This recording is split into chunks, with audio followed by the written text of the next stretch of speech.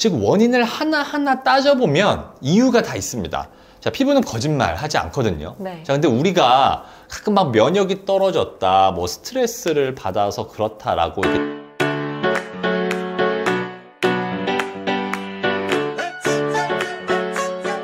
안녕하세요. 피부과 전문의 심해철입니다.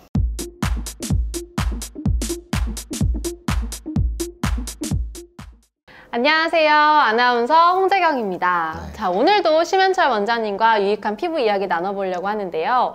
어, 원장님, 주변에 음. 친구들 중에 저도 그렇고 가끔 이제 레이저 시술을 받고 피부가 뒤집어진 것 같다. 이럴 때는 좀 어떻게 해야 될지 당황스럽더라고요. 어떤 시술을 받았고 피부에 어떤 증상이 있었었나요?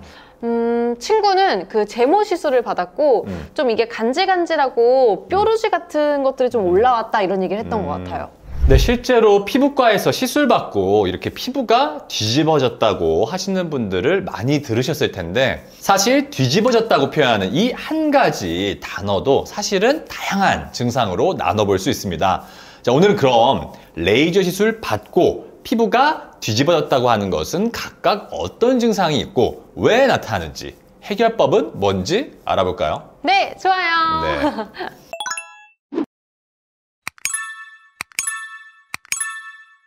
일단 레이저 시술을 받고 피부가 뒤집어졌다고 할 때 대표적으로 나타나는 현상 중 하나는 첫 번째 모낭이 이렇게 자극을 받아서 생기는 모낭염입니다. 자 색소 치료를 하는 레이저 toning도 마찬가지고 뭐 제모와 같은 뭐 모근을 파괴하는 역할을 하는 레이저도 마찬가지인데 모낭 부분을 자극할 수 있고 이때 모낭염이 생길 수 있습니다. 어, 제 친구가 나타난 그 현상이 바로 그걸 말하는 것 같은데요. 음. 네. 모낭염? 이러한 모낭염은 시술 이후에 하루에서 이틀 안에 생기고 간질간질하면서 이렇게 붉은 구진과 함께 농포 같은 것들이 생기게 됩니다. 자, 이건 레이저 시술과 같이 모낭을 자극할 수 있는 시술에서는 생각보다 흔하게 접할 수 있는데 보통 이것을 설명 듣지 못하는 경우가 많습니다. 어, 맞아요. 저도 예전에 시술을 받을 때 이런 설명은 좀안 들었던 것 같다는 생각이 들거든요. 네. 근데 이게 생기면 생각보다 당황스럽습니다. 자, 생각해 보세요. 이 시간과 돈을 들여서 병원에 왔는데 네. 갑자기 막 설명 듣지도 못했던 막 간질간질한 농포 같은 것이 얼굴을 뒤덮였다. 음, 어떻게 생각하실까요? 아, 일단은, 어, 이거 레이저 부작용 생긴 거 아니야? 음. 뭔가 잘못된 거 아니야? 음. 아, 나는 피부가 약해서 역시 내 피부에는 레이저가 안 맞나? 이런 생각을 많이 할 것 같아요. 맞습니다. 자, 근데 이 레이저 후 모낭염은 생각보다는 간단하게 제압할 수 있습니다. 자, 병원에 가서 처방약을 적절하게 받으면 보통 하루 안에 사라지게 됩니다. 자, 자주 이 현상이 생기는 분들은 약을 미리 처방받고 시술 후에 증상이 생기기 전에 복용하는 경우에는 증상이 나타나는 것을 미리 예방할 수 있습니다. 어, 정말 좋은 팁이네요. 음. 미리 약을 처방받자. 자, 원장님, 그럼 어, 또 다른 레이저 후에 피부가 뒤집어지는 현상은 좀 또 뭐가 있을까요? 또 두 번째로는 레이저 시술 이후에 보습을 굉장히 두껍게 해줘서 모공이 막혀서 whitehead나 트러블이 생기는 경우입니다. 자, 레이저 시술이라는 개념이 굉장히 포괄적이지만 대부분 빛 에너지를 열 에너지로 바꿔서 해당 부분에 자극을 주는 것입니다. 자, 근데 색소토닝도 피부에 열 에너지를 가해주고 또 우리가 아는 대표적인 흉터 치료인 뭐 프락셀도 어, 네. 피부 안에 이렇게 열기둥을 만들어주는 것입니다. 자, 그러면 피부 안쪽은 당연히 건조해질 수밖에 없겠죠. 자, 그래서 우리가 시술 후에 보습을 강조합니다. 자. 당연히 해줘야지 피부가 회복이 되는 것이기도 하고요. 맞아요. 저도 원장님께 이제 시술 후에 음. 항상 보습을 충분히 잘해줘라. 매일 잔소리도 듣고 있잖아요. 네. 근데 문제는 피지 발달이 많아서 모공이 발달한 사람의 경우 거기에 심지어 민감성 피부로 트러블이 잘 생기는 피부 타입이라면 시술 후에 평소에 하지 않던 과도하게 보습제를 사용을 해서 피부 위에 덮습니다.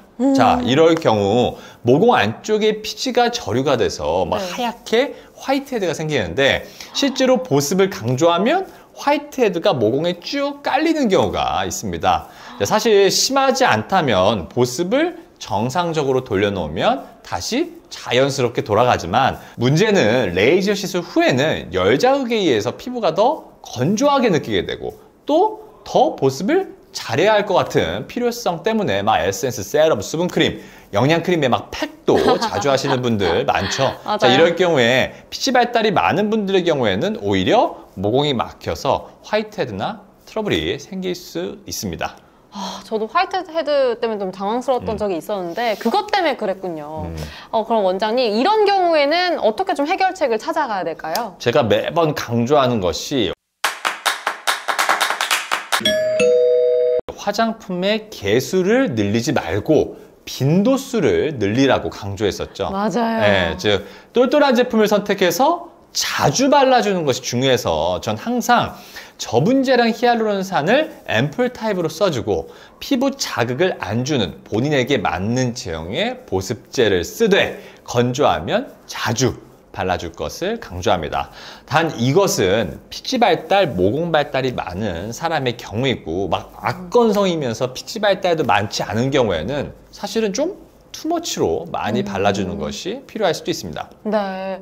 원장님, 그 레이저 후에 피부가 뒤집어지는 음. 또 다른 이유는 또 뭐가 있을까요? 정말 지금 다양한 게 나왔는데요. 네, 또 압출이나 바늘이 들어가는 시술이 있는 경우에 바늘이 들어갔던 부위에 2차적으로 세균감이 생겨서 트러블이 생길 수 있습니다. 자, 우리가 가끔 압출을 하는 경우에 깨끗한 바늘로 뭐 되지 못했다거나 뭐 아니면 구멍을 이렇게 뚫어 놓고 필링을 이렇게 도포할 때 도포하는 장비에 세균 감염이 있는 경우에는 얼굴에 바늘이 들어갔던 부위들이 다 세균 감염으로 모낭염이 생길 수 있습니다. 어, 정말요? 듣기만 해도 너무 끔찍한데요. 음.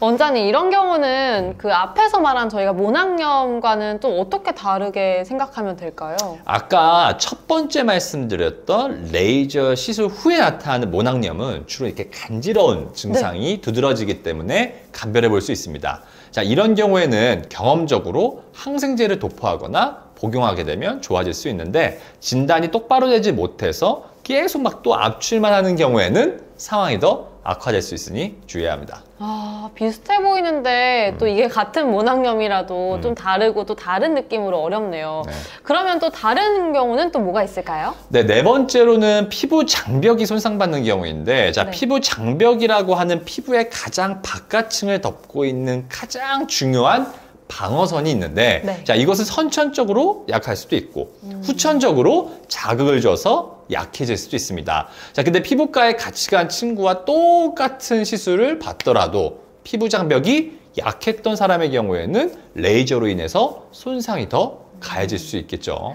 자, 아니면 정말로 레이저 시술이 좀 더 강하게 들어갔었을 수도 있고요. 자, 이런 경우에는 피부 장벽이 손상받게 되는데 이러면 평소에는 들어오지 못했던 외부 물질들, 뭐 예를 들어서 알레르기 원인들이나 뭐 바이러스들도 이 손상된 피부 장벽을 통해서 피부 안으로 들어오게 되고 이러면 피부에 각종 트러블이 생길 수 있습니다. 아, 이 각각을 감별하는 것이 참 어려울 것 같은데 네. 설명을 들어도 약간 다 비슷해 보이는데 이게 참 아리송한 부분인 음. 그쵸. 것 같아요. 네, 이거 말고도 또 여러 가지 이유도 또 있을 수 있는데, 뭐 예를 들면은 뭐 어떤 환자분이 평소에 여드름이 있어서 피지억제제, 그 분홍색으로 네, 되어 있는 네. 알약 아시죠? 그거를 간헐적으로 복용을 했었는데, 타 병원에서 레이저 시술을 받고 여드름이 심하게 올라오더니 사라지지 않는다. 그래서 오셨는데, 자, 실제로 history를 잘 들어보니 레이저 시술이 피부를 좀 건조하게 만들어서 본인 스스로 보습을 좀 더 많이 과도하게 하셨었는데 평소에는 여드름 약을 복용하시던 분이니까 이 얼굴에 피지가 많고 모공 발달이 또 많은 분이었었거든요. 자, 근데 이렇게 여드름이 생기니까 가지고 있던 이 피지 억제제를 매일 드신 거예요. 어. 그러니까 피부가 레이저 시술로 건조한데 피지 억제제를 먹으니까 더 건조해져서 피부 장벽이 많이 손상받았고 거기에 여드름으로 막 각질 제거까지 하셨더라고요. 그러면서 피부 장벽이 손상받으면서 피부 트러블이 심하게 생긴 분이셨거든요. 정말 이렇게 들으니까 정말 복합적으로 다양한 문제점이 생겼던 것 같은데 그러면 이분은 어떤 치료 방법을 내려주셨나요?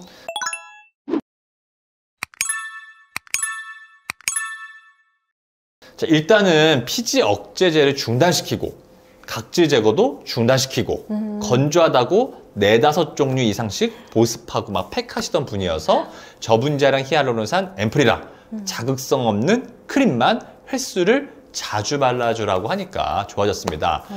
제가 왜 이렇게 복잡한 케이스를 말하냐면 즉 원인을 하나하나 따져보면 이유가 다 있습니다.